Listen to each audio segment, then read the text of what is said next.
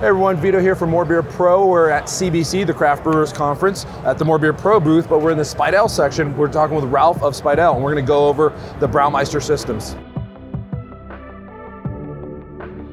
All right, Ralph. So I've brewed on the little small Speidel system, Yeah. But this one's a little bigger. Tell me a little bit about this uh, system here. Yeah, the system in general is the same system. Yeah, it works the same ways. You have the overflow of the malt pipe, so there's nothing different. Yeah, just a little bit bigger, and the pump is different, and the electric power consumption is a little different, but it's still the same system in general. Uh, no, the pump is a frequency uh, control. The advantage here is you have more function with the pump. For the small device, you use the pump for pump for the overflow. Okay. But uh, for the bigger size, you use it also for the whirlpool and also to get drained out of your wort in the tank. Yeah. So what, size system is this right here? This is a at? 200 liter. I'm not sure how many gallon it is. It's Okay. about uh, 50 gallons. Yeah, it looks about 50 gallon, a little over a Yeah. barrel, two barrel system Exactly. probably. Yeah. Yeah. Do you have a larger size than this too? What is the, the, the different sizes that you have available in Yeah. this one? We have for the bigger size, the commercial size, we have the 200 liter, the 500 liter, and also a 1000 liter. Thousand liter as well. Okay. Yeah, yeah. And they work all the same way. There is no difference between. Okay, so same. What I love about this is the footprint Yeah. size. So it looks like I could lift this with a forklift, Exactly. move around. Yeah. One Perfect. vessel, love that. Yeah. You know, being able to yeah build a brew house in a small little area. Exactly, yeah. And it's also easy to clean because you only have one vessel. Yeah. So- The engineering, the welds, amazing. It has the jacket, the same jacket right, too. yes. Yeah, I love the quality on this. is amazing. Love how, how the, the, the water flows. I mean, I got great efficiency. Yeah. Um, this thing's amazing. That's great. Well, let's go take a look at the controller. yeah. All right, so now we're on the back end of this unit, the new Yeah. control panel. You showed me some of the features yesterday. Let's go over those features and show everybody Yeah. all the cool new uh, additions you've added. Sure.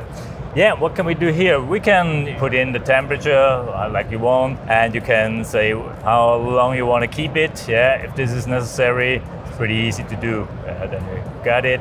You can now can say start, okay, uh, if you want. But uh, we have a timer where we can also make on hold. That means uh, you don't have to start now. You can start later if you want. Also, Speaking here, of that, uh, let's. Uh, one of the cool things you showed me about that starting later. So Yeah. you actually have the ability to add the water to a certain point, get the temperature to a certain point. Talk me through that and show me like kind of Yeah. how that's controlled. Yeah. If they say uh, today I don't want to brew, but tomorrow, yeah. I want to have hot water, you can say I have a brew start. Yeah, you choose some of your recipes you, you have already inside. Yeah, he's asking you some simple things, some simple question. Yeah. Uh, just when I can say at this point uh, before we have the filling uh, option. That means I can fill in water like I want to have. I say 230 liter is good for the start, yeah. So it will fill up till 230 liter, then it stops, yeah. But this is just by the way. Okay, I will do it back. If we make a normal brew start, or pills. I say no, I don't want to do it now. I say okay. I say later, maybe at whatever you want. Yep. Yeah, say the next hours, and I say okay. So you know, it starts in seven hours, eight hours, whatever you want. There are two ways. Uh, Germany people sometimes they do the mashing in before. That means they do it in the in the afternoon or before in the evening, and they start up brewing in the morning. That means you can run it at morning four o'clock, and you will be ready at uh, six thirty with the mashing. So I could add my milled grains, have them sitting in there ready to go. Then at a certain Yeah. time, it'll add the water, heat the water up to the temperature. Could do multi-step mash. Yeah. I wake up, I'm already done mashing essentially. Exactly. That's yeah. pretty cool. So you to two hours, yeah, Yeah. time. So that's pretty cool. Yeah, that's something what we can do here. And the way it measures the water, it wasn't. It's not a flow meter. It's it's actually measuring uh, It's the pressure. From the pressure, yeah. Yeah. It takes the level which is from the pressure and counts out. That must be 230 liter. Yeah. Okay. Uh, one other feature I want to show you is uh, we have also for the pump regulation something. Yeah. We can do it um, if we say we want to regulate the pump by pump speed. It's possible, yeah. But it's more important that you have the same pressure inside of the malt pipe. That's why we say it's more interesting to mm-hmm. control it by the pressure, yeah?